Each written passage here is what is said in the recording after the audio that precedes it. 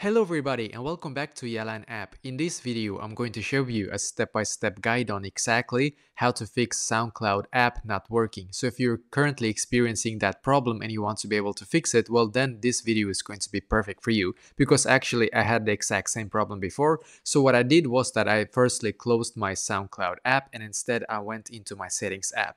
So I went into my settings app, I scroll down in here, and then I clicked where it says general as you can see. So click on general scroll down a little bit again and then I clicked where it says storage. And by the way uh, for some of you that are using Android this is working on Android as well just so you know because I also have an Android phone and I tried just go into your Android settings and then basically find uh, as well like storage in that setting. I, I don't remember exactly, I'm sorry where it is, but you can probably search if you have a search on your settings, just search for uh, storage or just play around there and hopefully you'll be able to find it. So now we're just going to scroll down in here and find the SoundCloud app.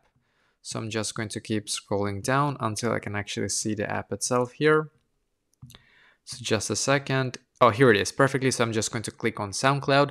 Then I'm going to click on Offload App. And once again, I'm going to click on Offload App in here. Just going to wait a couple of seconds and then I'm going to click on the blue button here once again. So what happens now is that you will automatically now uh, update your SoundCloud app to the latest version as you can see. Uh, for me, it's just loading right here. As you can see, it's going to do so for you as well. So just wait a couple of seconds. And when it's done, go back into the app. And I hope that this will be able to fix this bug for you as well.